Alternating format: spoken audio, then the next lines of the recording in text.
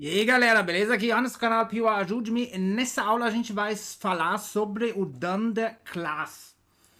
Extremamente poderoso. Na aula passada a gente herdou de Dict. A gente definiu aqui o Missing. E no Missing criamos aqui um novo key com um novo valor que é Self Class.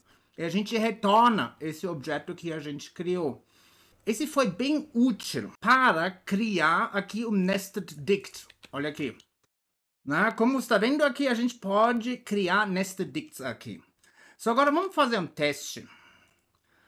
A gente vai colocar um dict normal aqui.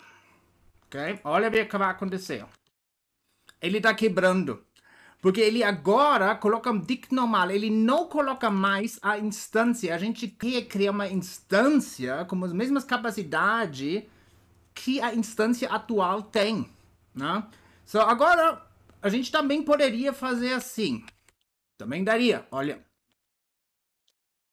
Não, funcionou perfeitamente. Mas por que a gente não está fazendo isso geralmente?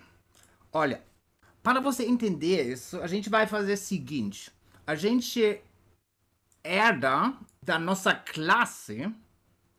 E aqui é um truque para atributos serem criados automaticamente. Olha o que acontece. E como está vendo aqui, que nem a gente fez antes, certo? Mas agora a gente também vai ter atributos. Olha, não é legal isso? Então são criados automaticamente. Agora, se a gente colocaria aqui um D,